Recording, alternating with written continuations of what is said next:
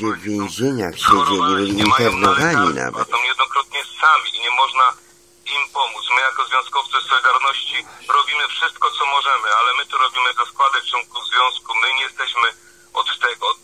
Od tego jest przede wszystkim państwo polskie, które nie stanęło na wysokości przez te 27 lat i mam nadzieję, że w tej chwili to, co się dzieje, że zabiera się z beką emerytury, to jest ten bardzo dobry kierunek, to jest ta sprawiedliwość, na którą czekaliśmy przez wiele lat to jeszcze nie koniec, bo powinniśmy z innych urzędów także robić lustrację, powinni pisać wszyscy pracownicy oświadczenia, czy byli w SB, bo z tym trzeba zrobić wreszcie po prostu porządek. Solidarność dzisiaj u świętego Józefa, Solidarność e, e, modli się. E, panie Przewodniczący, na koniec jakieś pozdrowienie dla nie tylko członków związku, ale dla tych wszystkich ludzi ciężkiej pracy w naszej ojczyźnie.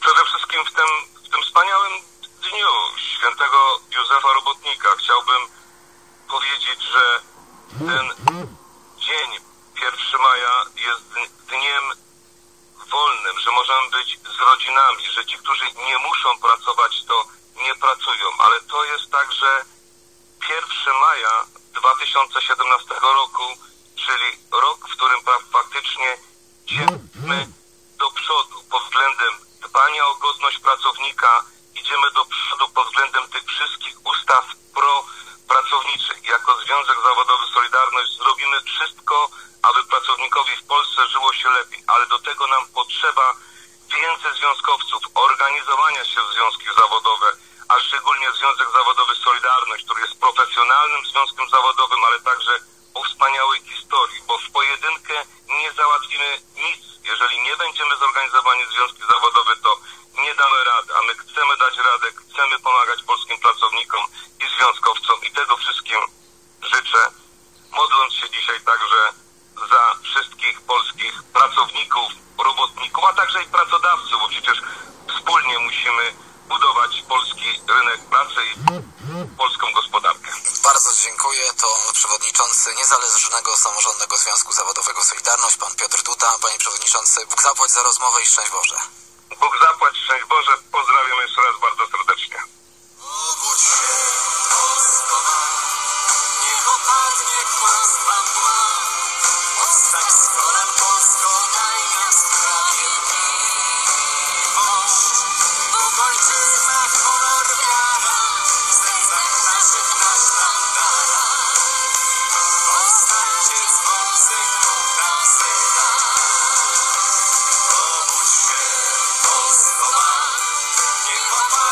Opadnie kłamstwa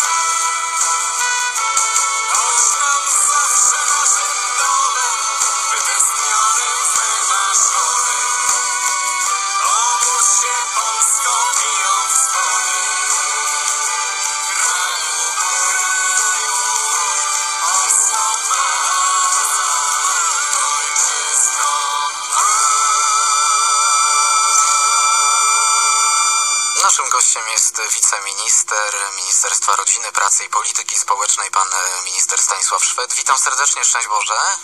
Szczęść Boże, witam serdecznie. Panie ministrze, Polacy y, praktycznie we wszystkich badaniach wskazują troskę o rodzinę jako swoją największą troskę.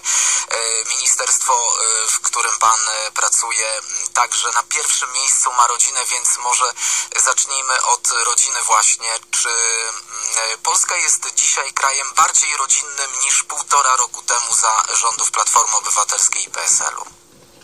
Tak, można spokojnie tak powiedzieć, że zarówno co ojciec mówił już, że, że rodzina jest najważniejsza dla całego rządu Prawa i Sprawiedliwości, ale również nasze ministerstwo, które się teraz nazywa Ministerstwo Rodziny, Pracy i Polityki Społecznej. To są ważne, ważne gesty, ale też ważne działania, które podjęliśmy w stosunku do rodzin, choćby program Rodzina 500+.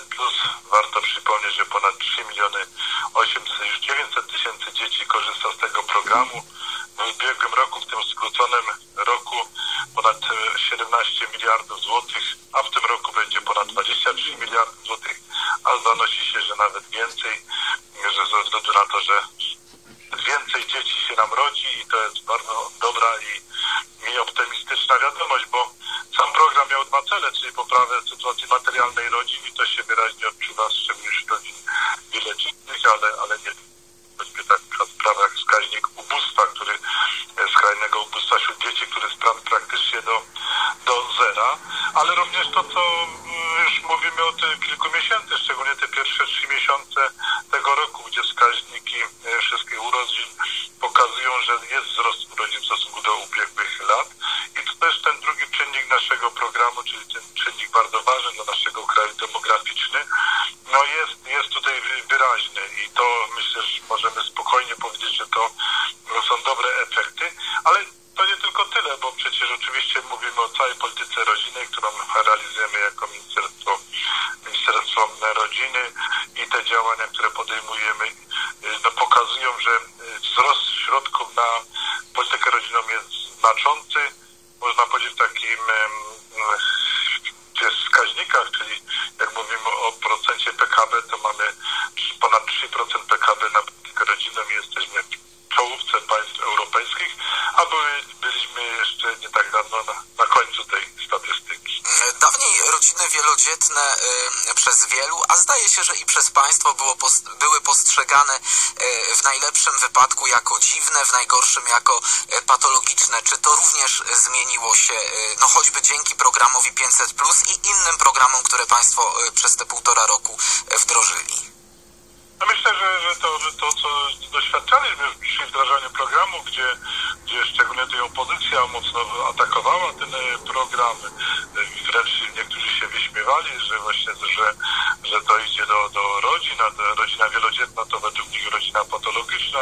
To absolutnie było nieprawdą. E, myśmy zastosowując taki mechanizm dotyczący zamiany świadczenia pieniężnego na rzeczone w sytuacjach jakichś skrajnych, no możemy powiedzieć, że dzisiaj nie ma żadnego problemu, bo to jest na poziomie 300% w skali tych 3 milionów 900 tysięcy dzieci, tylko 700 świadczeń w ciągu miesiąca jest zamieniane, czyli w takich najtrudniejszych sytuacjach, czyli to, co zakładaliśmy, to się potwierdziło, że rodzina najlepiej wie, jak te środki wydawać i, i wbrew opiniom właśnie i opozycji, ale różnych, różnych tak zwanych autorytetów, które twierdziły, że, że tutaj naprawdę będą się jakieś rzeczy działy gorszące, bo no, dostaną się do rodziny środki, będą nie wiadomo co z tymi środkami. To się nie potwierdziło. Rodzina tutaj jako najważniejsza część naszego społeczeństwa się jak najbardziej sprawdza. I ważne też chyba podkreślenia, że z tych badań też wynika, że część rodzin z, z tych środków również już oszczędza dzieciom na przyszłość, czyli widzi, że to też jest jakaś inwestycja w dzieci i to jest też bardzo dobry moment tego programu. Szef Platformy Obywatelskiej Grzegorz Schetyna przekonuje, że obecne funkcjonowanie programu 500 Plus to katastrofa dla rynku pracy. Z jego wypowiedzi różnych można wnioskować, że matki, którym ten program pozwolił na oddanie się opiece nad dziećmi, zajęcie się domem, które podejmują takie decyzje absolutnie świadomie, nie zasługują na te pieniądze.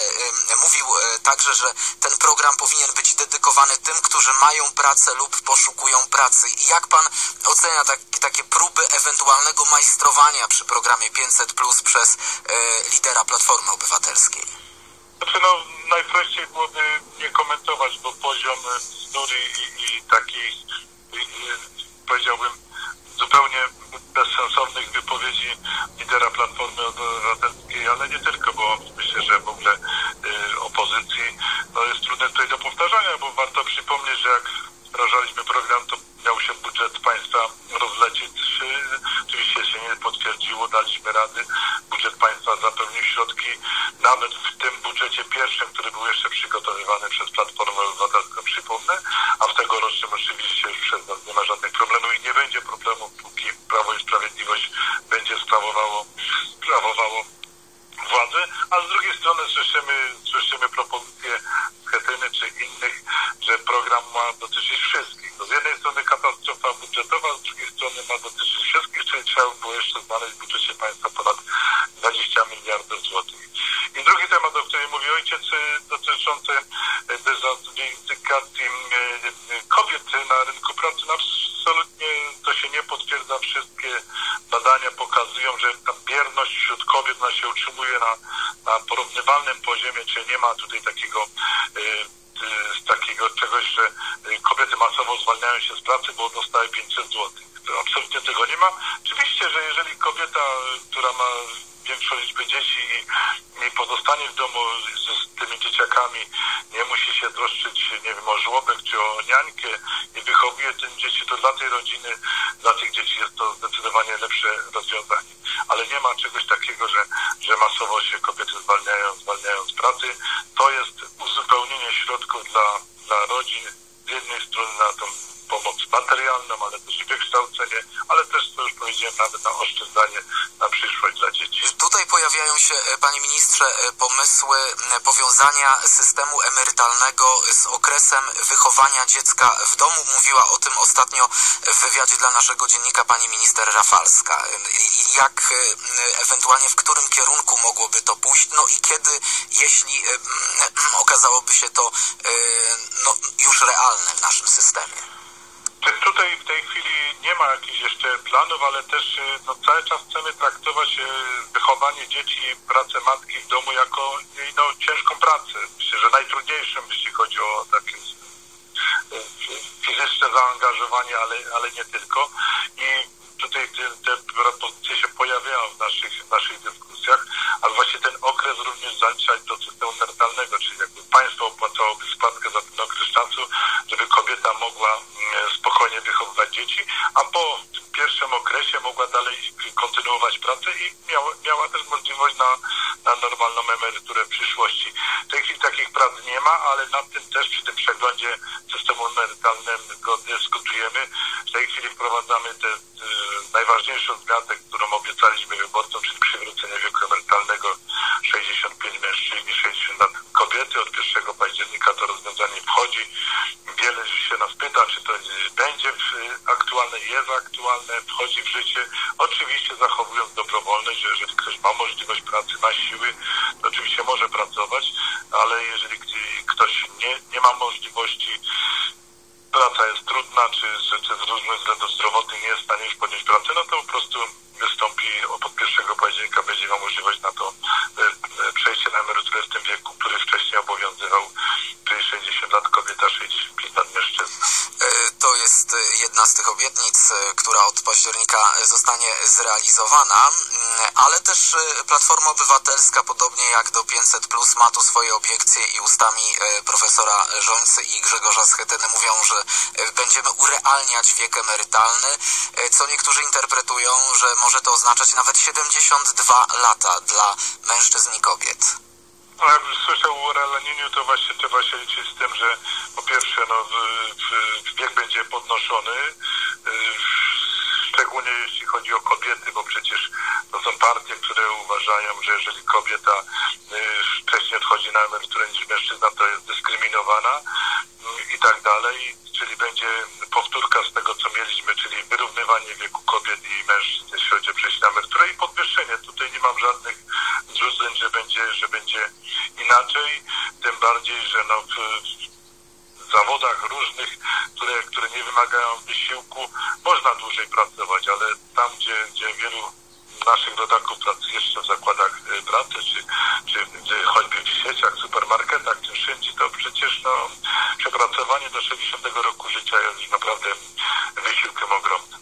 Panie ministrze, w związku z obniżeniem wieku emerytalnego także mówi się o tym, że ministerstwo może zachęcać tych, którzy będą chcieli, tych, którzy mogą e, dalej pracować do tego, żeby e, dalej pracowali. Pojawia się pomysł 10 tysięcy plus. Czy też są już jakieś realne zachęty dla ludzi, żeby jeśli mogą, jeśli chcą, e, pracowali dłużej? Znaczy takiej propozycji nasz resort nie składa. To w tym przekazie medialnym pojawił się taki pomysł. Nie wydaje mi się, żebyśmy tutaj w ten sposób próbowali zachęcać do, do wydłużania wieku, pracy do dłuższego, do dłuższej pracy poprzez no, gratyfikację, gratyfikację pieniężną. No, wydaje mi się, że byłby to sposób nieskuteczny i on by tak naprawdę nie trafiał do tych, którzy, którzy nie są w stanie pracować i z różnych względów rezygnują tylko do, do osób, które no, łatwiej się im poruszać na, na rynku pracy. Myślę, że to nie, nie byłoby dobre rozwiązanie, ale tak mówię, tutaj żadne prace w tej chwili nie trwają.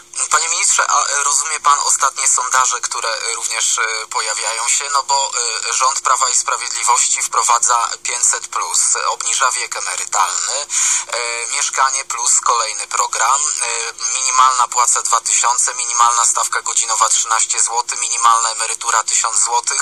No tutaj dużo w tym obszarze zostało zrobione, a Platformie rośnie. Ale to jest też, trzeba na te sondaże patrzeć trochę z pewnego dystansu, bo wiemy, że różne pracownie pracują nad sondażami. Jeżeli Platformie rośnie, to innym ugrupowaniom opozycyjnym maleje i to też jest taka prawda. Oczywiście my mamy bardzo dużą dalszym ciągu nierównowagę medialną w naszym kraju i absolutnie nie jest, nie jest prawdą, że, że, że tutaj jest przewaga po stronie, że tak powiem, naszego ugrupowania czy, czy strony rządowej. Ta manipulacja faktami. No...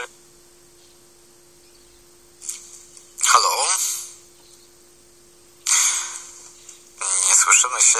Może za chwilę. Ja słyszę. O, to, ja to słyszę. teraz, teraz słyszę ponownie. Tak? Bardzo proszę, panie ministrze. Jeżeli mówimy o, jeżeli mówimy o, o manipulacjach z sondażami, no to też to trzeba brać pod uwagę. Jest nierównowaga duża medialna w dalszym ciągu i ona jest, jest zdecydowanie dla tych wspierająca te ugrupowania, które są nieprzychylne. No jeżeli ja słyszę, że jest zagrożona demokracja, że dzieje się coś dramatycznego, a wszystkie dane i, i statystyki pokazują zupełnie odwrotną sytuację. No mogę jeszcze przypomnieć, 8,1% bezrobocia, wzrost PKB, najniższy deficyt budżetu państwa od kilkudziesięciu lat. To są wszystkie dane, które pokazują, że, że sytuacja się w Polsce poprawia, ludziom też większy optymizm wśród ludzi, ale jest, jest wielka akcja medialna, żeby pokazywać, że w Polsce coś dramatycznego się dzieje, jeszcze wykorzystując do tego, do tego instytucje europejskie, które też tutaj no, swoje dokładają do tego wszystkiego. Ale jak spotykam się z ludźmi na, na różnych spotkaniach, to ludzie to czują i mówią, trzymajcie się, realizujcie to, o czym mówiliście, bo to jest program Prawa i Sprawiedliwości, który po raz pierwszy trafia do ludzi, a nie zabiera ludziom. I myślę, że to jest chyba najważniejsze nawet w tym dzisiejszym dniu, jeżeli mówimy o świętym Józefie Robotniku, czyli mówimy o święcie pracy, to jest, to jest, to jest ważne, że dajemy, dajemy i wspieramy ludzi, naszych rodaków, a nie odbieramy to, co było przez, przez wiele, wiele lat, począwszy, można powiedzieć, o transformacji. Na koniec, panie ministrze, z racji tego święta, świętego Józefa Robotnika, ale także opiekuna świętej rodziny, jest pan wiceministrem rodziny, pracy i polityki społecznej. Czego życzymy polskim rodzinom, polskim pracownikom?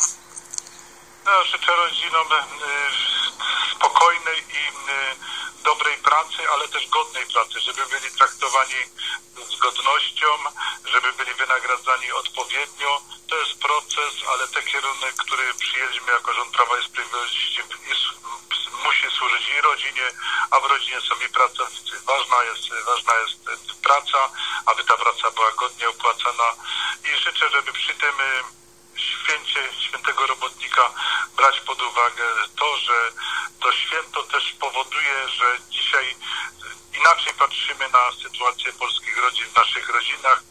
Czasami warto wyłączyć, wyłączyć, nie mówię o Radiu Maryja oczywiście, ani telewizji Trwam, inne nośniki i nie dać się manipulować tym wszystkim. Dziękuję bardzo. Pan minister Stanisław Szwed, wiceminister Ministerstwa Rodziny, Pracy i Polityki Społecznej, nasz gość. Dziękuję za rozmowę, panie ministrze. Szczęść Boże, pozdrawiam serdecznie wszystkich. Szczęść Boże. Obudź się, Polsko ma, niech opadnie kłamstwa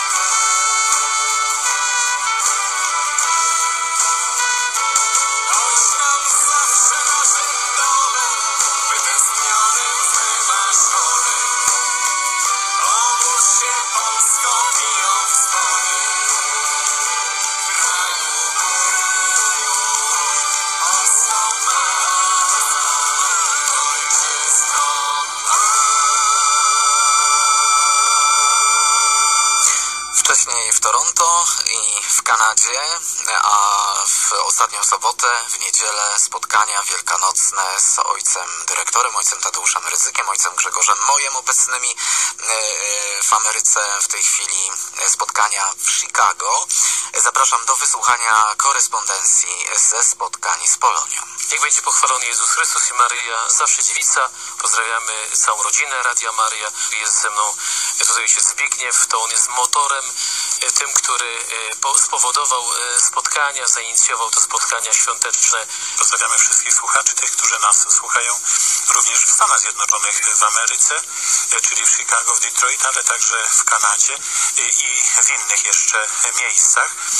Bardzo dziękujemy księdzu proboszczowi Zdzisławowi z parafii świętego Ferdynanda za to, że mogliśmy się dzisiaj spotkać właśnie tutaj, w sali parafialnej parafii świętego Ferdynanda, a wcześniej celebrować wspólnie pod przewodnictwem ojca dyrektora Tadeusza Rycyka mszę świętą dla rodziny Radia Maryja i w intencji rodziny Radia Maryja właśnie tutaj w parafii, w pięknej kaplicy nad salą, w której aktualnie się znajdujemy. To kolejne spotkanie przy bardzo licznym udziale naszych słuchaczy Radia Maryja i telewizów telewizji Trwam, bo zgromadziło się e, około 300 osób e, właśnie tutaj w sali. No i cieszymy się, że to zaproszenie po prostu e, znalazło odzew i osoby odpowiedziały, przybyły tutaj. No oczywiście nie byłoby e, tych spotkań, gdyby nie życzliwość osób, ale też potrzeba takich spotkań, bo jednak mm, ołtarz, e, msza święta, ona jak najbardziej jest na pierwszym miejscu, no ale te ludzie oczekują, żeby przy wspólnym stole, tak jak rodzina, zasiąść i świętować. I za to jesteśmy Panu Bogu wdzięczni, ale także wszystkim, którzy no, w wyraźny sposób mm, są sympatykami i odpowiedzieli pozytywnie na to zaproszenie. Eucharystii przewodniczy oczywiście z dyrektorem ojciec Tadeusz Ryzyk teraz e, prowadzi e, rozmowę e, z rodziną Radia Maryja, bo to jest okazja do tego, żeby też i postawić pytania, by też powiedzieć o tym, czym dziś żyjemy, przed czy jakimi ra- radościami i, i, i jakie smutki przeżywamy, ale Zdzisława Torę, bardzo dziękujemy za tą gościnę, za przyjęcie, za możliwość modlitwy. To dla nas przywilej i radość, że możemy Was gościć jako Radio Maryja i Telewizję Trwamy, szczególnie ojca dyrektora i także ojca Grzegorza, że tutaj razem z nami są.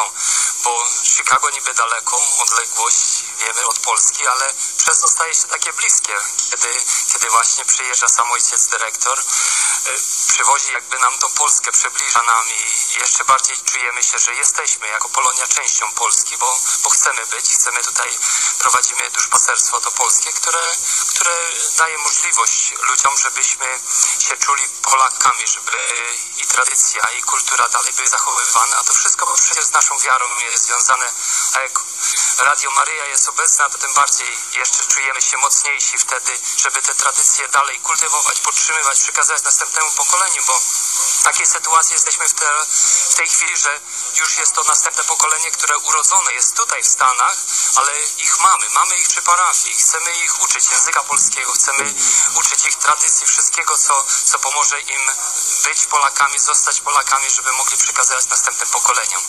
Ojciec dyrektor dziś wspomniał, jak uczy się języka polskiego, to za tym też pójdzie wiara, miłość do Pana Boga, w Kościele, życie we wspólnocie Kościoła.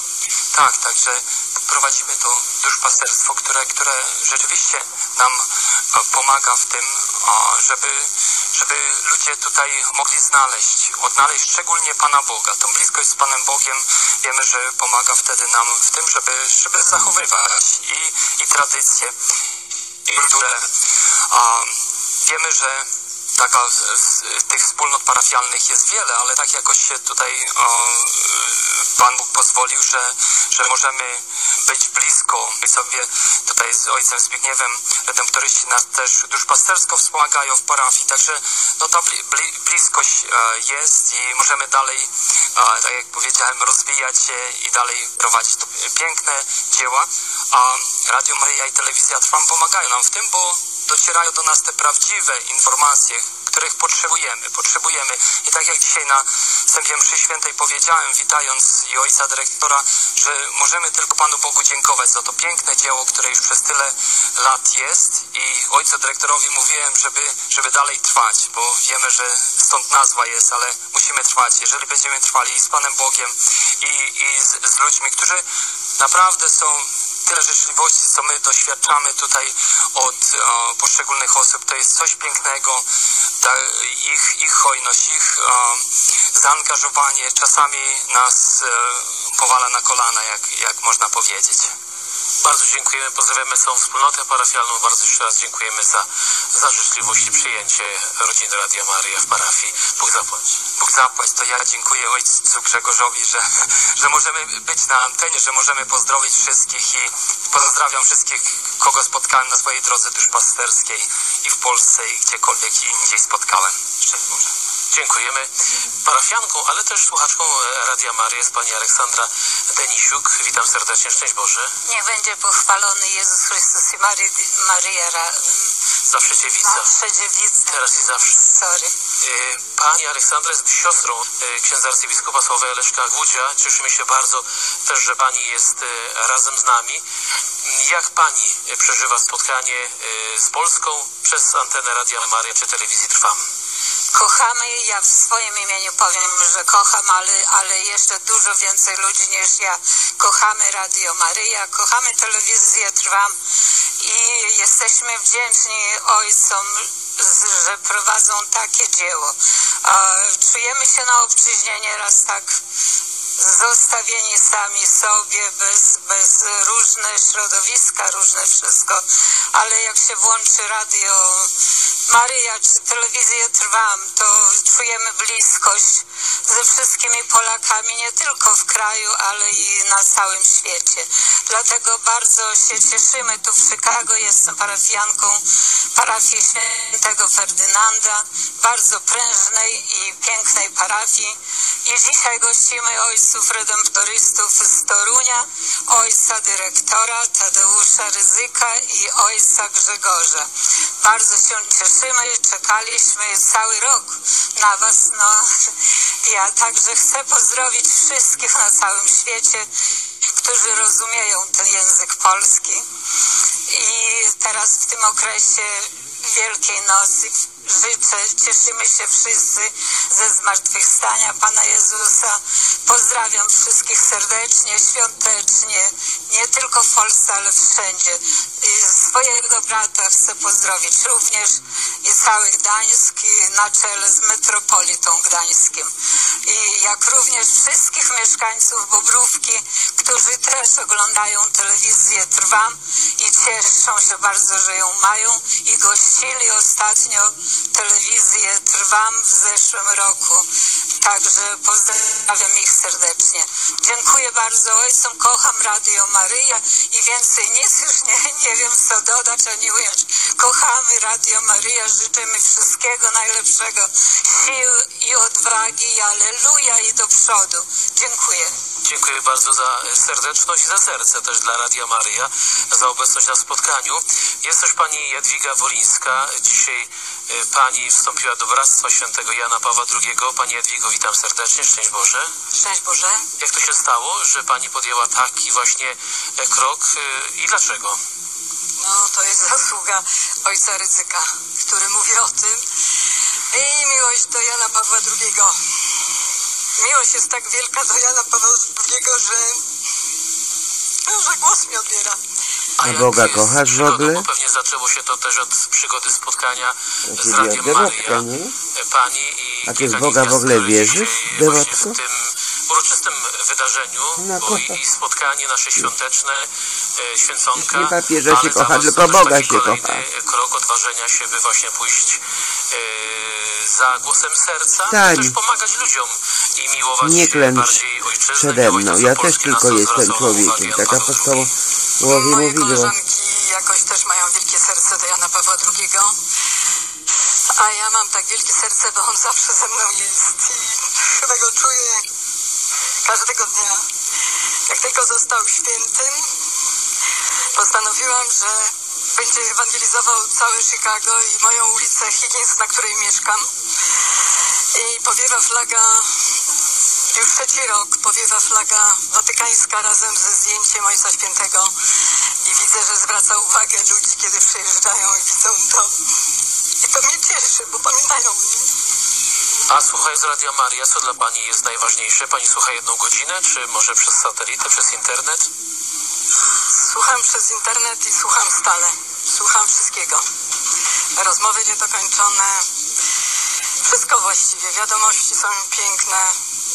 Kocham nawet te wszystkie programy z dziećmi. Modlę się. Kiedy tylko mogę, to włączam internet, jak tylko jestem w domu i po prostu korzystam z niego. To jest najpiękniejsze radio, jakie jest. Czego Pani najbardziej braku, brakuje? Tak patrząc okiem radia czy okiem telewizji? A, chyba brakuje mi, żeby wszyscy ludzie weszli do Bractwa Jana Pawła II i żeby go tak samo czuli jak ja. Dziękuję. Kogo pozdrawiamy? Pozdrawiam całą Warszawę. Pozdrawiam moją miejscowość Marki. Pozdrawiam całą rodzinę, którą mam rozrzuconą po całej Polsce. Bardzo dużo ich jest w Markach. Pozdrawiam ich serdecznie i mocno ich całuję. Dziękuję bardzo. Są z nami też panowie. E, Pan doktor Leszek Balarin. Witam serdecznie. Szczęść Boże. Szczęść Boże, szczęść Boże. Witam serdecznie. Y, Ja chciałbym tak za, powtarzając za naszym prymas, prymasem tysiąclecia, jeżeli przyjdzie ratunek dla Polski, to przyjdzie on przez Maryję. I to chyba jest ta perełka właśnie, która jest, to jest ten ratunek dla Polski.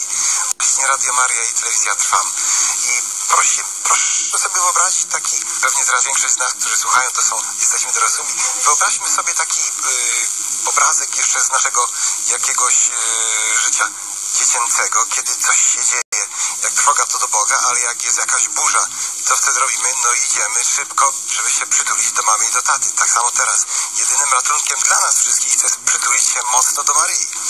I, i to jest jedyny, jedyna szansa, żeby jakoś przetrwać te wszystkie zawieruchy i ten walec liberalizmu, który nas tutaj chce zgnieść, o którym ksiądz dyrektor mówi.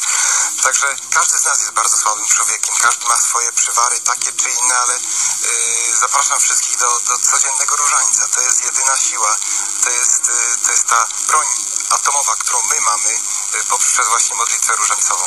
I jeżeli tak wszyscy się zjednoczymy, to, to nic złego nam się nie stanie. Także zapraszam, zapraszam wszystkich serdecznie, zwłaszcza teraz, kiedy za dwa tygodnie mamy tak wspaniałą rocznicę setnych obrawie, objawień, objawień w Fatimie.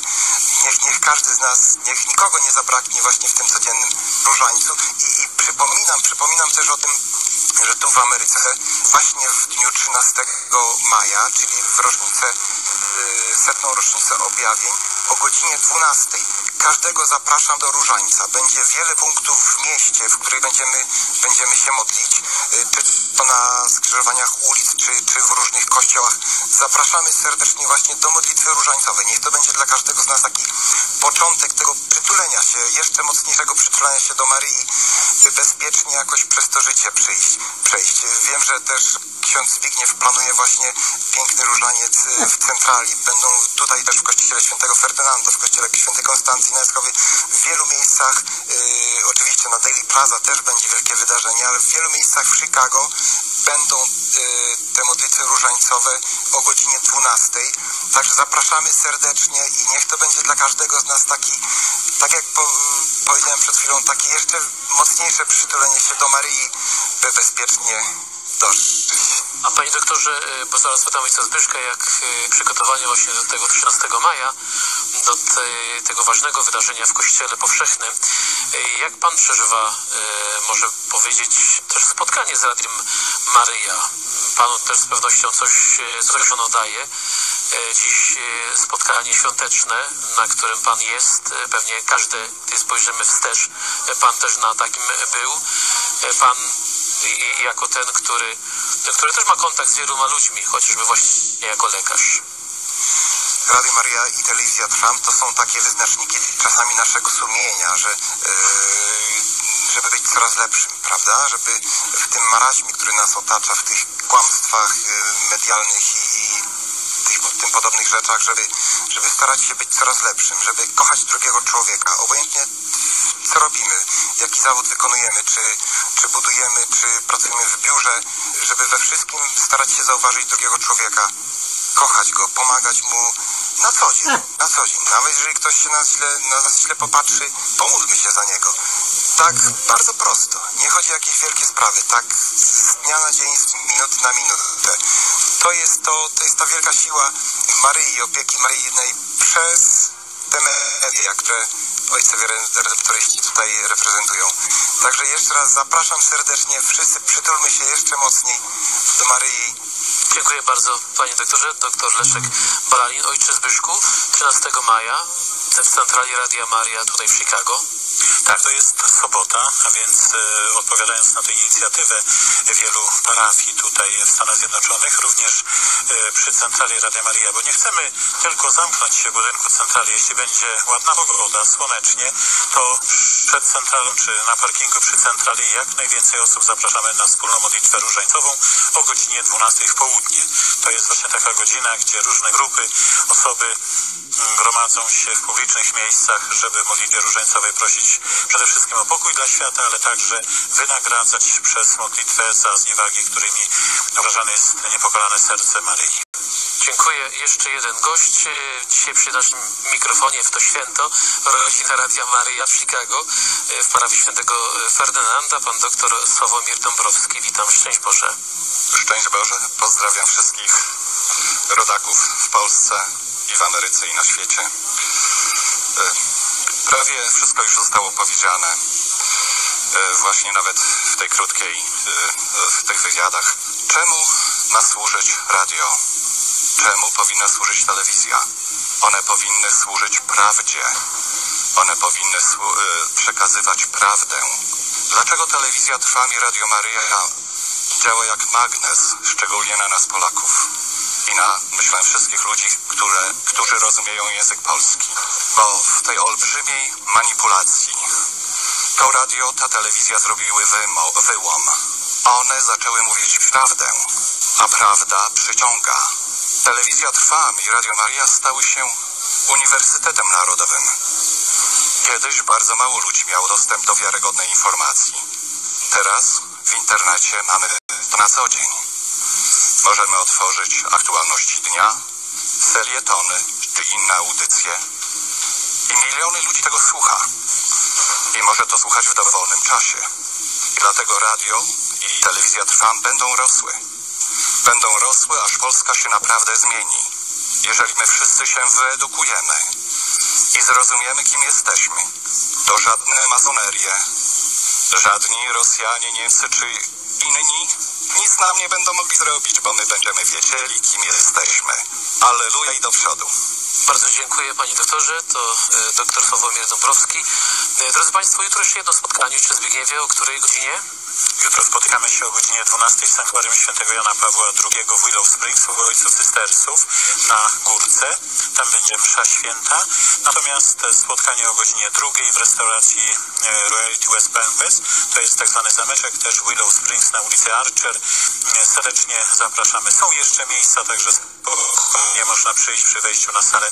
Będzie można taką kartę wstępu nabyć. W ten sposób konkretnie wesprzeć Radio Maria i działa przy nim wyrosłe, bo przecież te spotkania e, również i e, takiemu celowi służą.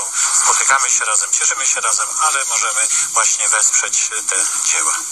Dzisiaj deszczowa pogoda, ale wielu też przybyło. Dziękujemy, że się nikt nie zraża nawet trudną pogodą, trudnymi warunkami. E, dziękujemy wszystkim za tą życzliwość, za przyjęcie Radia Marii, za tą modlitwę, za spotkanie dziś świąteczne. Zapraszamy na jutro. Panie Piotrze, bardzo dziękujemy. Pozdrawiam jeszcze raz Chicago, całą rodzinę Radia Maria w Stanach Zjednoczonych, Kanadzie, w świecie, w Europie, w naszej ojczyźnie, w Polsce. Niech będzie pochwalony Jezus Chrystus i Maryja, zawsze dziewica. Teraz i zawsze to relacja z sobotniego spotkania. Otrzymaliśmy już także relacje z wczorajszego niedzielnego spotkania rodziny Radia Maryja w Chicago, o którym mowa była w materiale.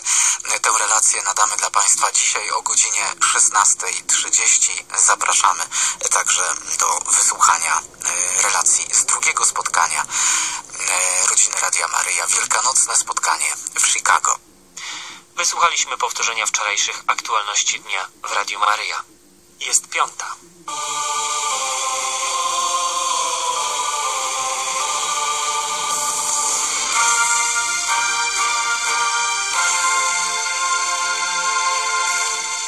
Państwo Radia Maryja. Szanowni Państwo, nadszedł czas na felieton z cyklu Myśląc Ojczyzna. Mówi do Państwa profesor Grażyna Ancyparowicz. Serdecznie zapraszam. Szczęść Boże, witam Państwa w dniu, który jest właściwie świętem chyba nas wszystkich, bo to jest święto ludzi pracy, y, którego patronem jest święty Józef. Niektórym się to święto kojarzy niepotrzebnie z okresem e, komunizmu. Nie, to święto ma znacznie starsze tradycje, pochodzi z XIX wieku, a to, że komuniści sobie zawłaszczyli to nasze święto, no to już nie tylko tę jedną rzecz zawłaszczyli. Mam nadzieję, że je jednak odzyskaliśmy e, i to jest jednocześnie taki środkowy dzień w tym roku długiego weekendu, co też się liczy, bo pewnie wszyscy ludzie pracy mogą sobie nieco dłużej odpocząć. E, ja chciałabym e, jednak wrócić do kwestii, którą sygnalizowałam tydzień temu, a mianowicie do programu 500 bo wydaje mi się, że ten program jest bardzo ważny nie tylko dlatego, e, że jest programem niesłychanie kosztownym, adresowanym do właściwie bardzo wielu polskich rodzin, o tym za chwilę, pokażę nawet mapki, jak rozkładają się świadczenia z tego programu w poszczególnych województwach, e, ale on jest chyba ważny dlatego, że był pierwszym sygnałem który świadczy o tym, że mamy do czynienia w tej chwili z odejściem od polityki y, społecznej, która była realizowana przez bardzo wiele lat, a na pewno przez ostatnie 26 lat. Ten program y, włącza się w inne y, nurty, które w tej chwili możemy obserwować, mianowicie prawdopodobnie w Polsce będziemy mieli kres ery tanich kosztów pracy, kiedy się mówiło, że Polacy niczym innym nie potrafią konkurować, ale tylko tanią robocizną. W związku z tym robiono wszystko, żeby utrzymać nasze pensje na możliwie najniższym poziomie. E, ten program został wdrożony w momencie, kiedy sytuacja na rynku pracy zdecydowanie się poprawiła. Dzisiaj Polska e, należy do krajów o najniższym bezrobociu. Ja rozumiem, że człowiek, który szuka daremnie pracy i nie może jej znaleźć, e, może tutaj kwestionować osiągnięcia z tego tytułu, ale większość ludzi, dzisiaj tych, którzy nawet byli długotrwale bezrobotni, jakieś zatrudnienie znalazło.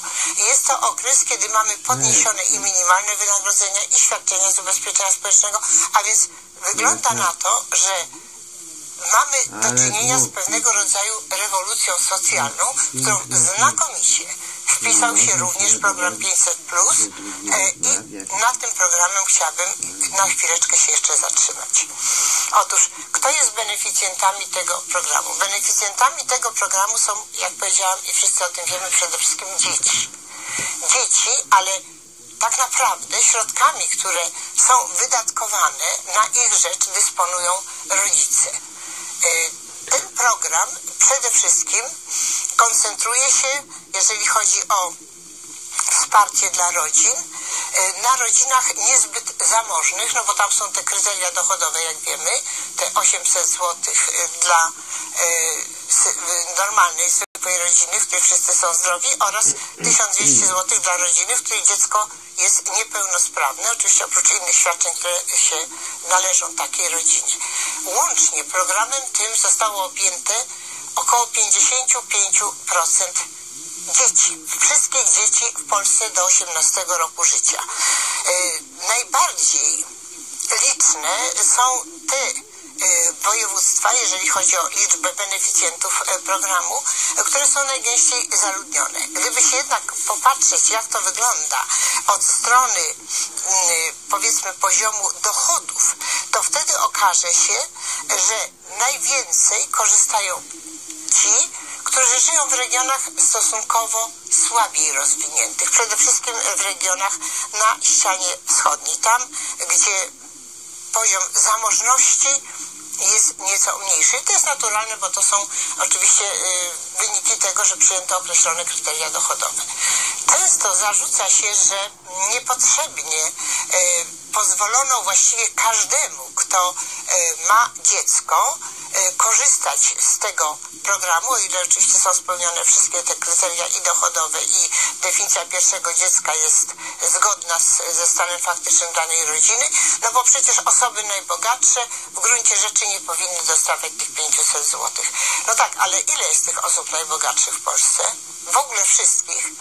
Według statystyki, jaką mamy, jest około 350 tysięcy. Gdybyśmy chcieli oszczędzać na tych osobach, to przy programie, który kosztuje około 22 miliardów, może 23, oszczędzilibyśmy jakieś 200 milionów złotych, a wydalibyśmy prawdopodobnie kilkanaście milionów na weryfikację zaświadczeń. To daje pod rozwagę tym, którzy atakują program 500 plus, z tego właśnie powodu, że osoby, które naprawdę są nieźle sytuowane, również są beneficjentami tego programu. Ja myślę, że to jest w takich przypadkach myślenie tego typu. Jeśli ja dostaję, to jest w porządku, ale jeżeli mój sąsiad, to niekoniecznie. Na szczęście takich osób, jak wynika z badań CEPOS-u jest bardzo mało, zaledwie kilka procent, a większość bardzo cieszy się z tego programu, o czym jeszcze powiem za tydzień. A teraz szczęść Boże, bo mój czas już minął. Wysłuchaliśmy felietonu, który przygotowała i przedstawiła pani profesor Grażyna Ancyparowicz. Był to felieton z cyklu Myśląc Ojczyzna. Mówiła do Państwa profesor Grażyna Ancyparowicz. Dziękujemy za uwagę.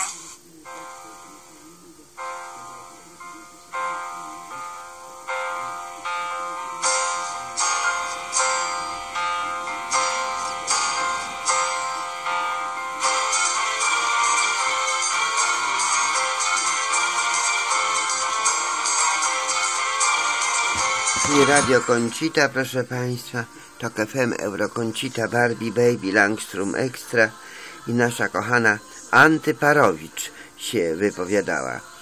Także prawdopodobnie w ogóle Ryszarda jest kobietą, ale Państwo zobaczą.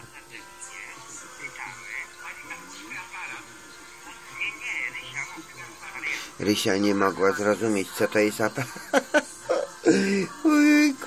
Rysia jest śmieszna, Rysia Czubak.